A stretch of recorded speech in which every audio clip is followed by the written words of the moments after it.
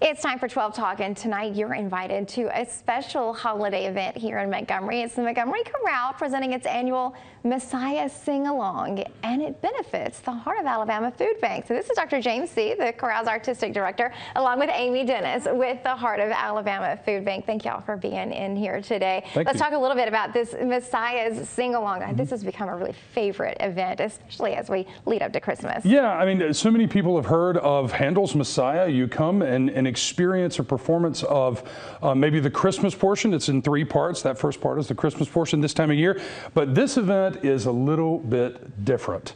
Uh, this is exactly what it sounds like the Messiah sing along.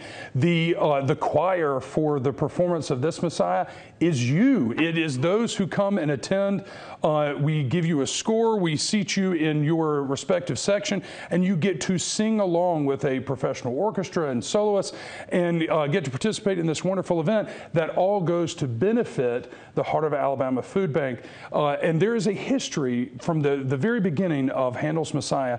Uh, performances, when it was first performed um, centuries ago, was performed in benefit for charity. So we are we are carrying on a, a, a couple of hundred years tradition in, uh, in hosting this uh, Messiah sing along tonight at 7 p.m. at the Church of the Ascension on Clanton Avenue. But we're just so glad that we can uh, benefit the Heart of Alabama Food Bank. Yeah, and we talk a little bit about this partnership and how it came about, how it's going to really go a long way to help you. Yes, this is a partnership that's rich in history and it's really reflective of our community and their involvement um, with supporting the food bank. And so this is just another opportunity for you to get involved.